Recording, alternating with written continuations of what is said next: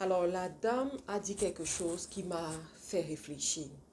Elle a dit, j'ai l'impression que vous ne connaissez pas votre valeur. Et cette phrase est rentrée en moi et j'ai commencé à réfléchir par rapport à ça. Alors, pourquoi est-ce qu'elle a dit ça? Parce qu'elle s'est rendue compte que toutes les femmes se battaient à se faire mécoper, à se maquiller, à mettre les fossiles, beaucoup de fond de teint, vraiment euh, mettre beaucoup l'accent sur le, paraître là quoi, mais paraître avec tous ces, toutes ces choses artificielles. Et moi aussi, j'étais dans le, le mouvement et elle a dit, j'ai l'impression que vous ne connaissez pas votre valeur. Du coup, toute la soirée, j'ai commencé à me poser certaines questions. Je me suis demandé, mais qu'est-ce qui fait ma valeur? Qu'est-ce qui fait de moi qui je suis? Est-ce que je peux me présenter devant les gens euh, juste qui je suis en fait?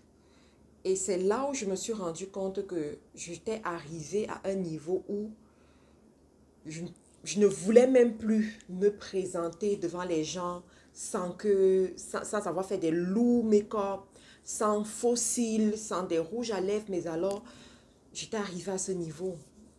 Et là, j'ai recommencé à, à rentrer dans ces enseignements qui nous enseignent comment Dieu nous voit.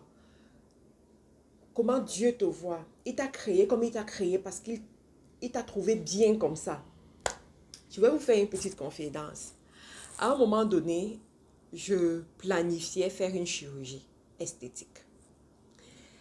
Et pendant que je faisais des recherches pour voir ce que ça coûte, euh, quels sont les risques aussi qui sont liés à ça, je suis tombée sur une vidéo où euh, une dame qui a fait recours à la chirurgie justement esthétique, elle expliquait que Dieu n'a pas fait d'erreur en nous créant.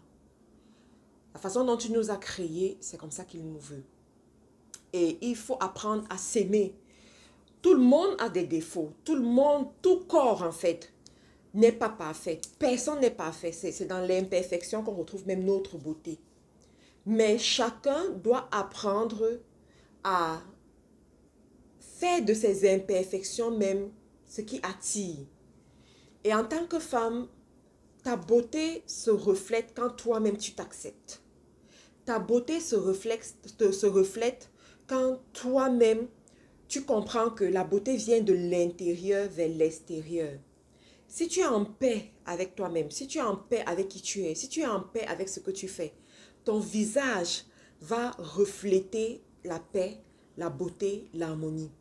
Mais si tu n'es pas en paix, si tu te caches même certaines réalités, si tu n'acceptes pas certaines choses, eh bien, ton visage va refléter l'aigreur, l'insécurité et effectivement, tu auras besoin de le couvrir de fond de teint très lourd, de ceci, de cela, des fossiles, tout ça, pour pouvoir donner l'impression d'être ce que tu veux être en fait. Et je vous assure que j'ai beaucoup réfléchi à tout cela et je, vous ferai d'autres vidéos peut-être par rapport à ce sujet. Vous allez me dire qu'est-ce que vous pensez de cette petite vidéo déjà. Et on continuera. Merci encore pour votre attention. Merci pour votre fidélité. On se retrouve dans une autre vidéo les amis.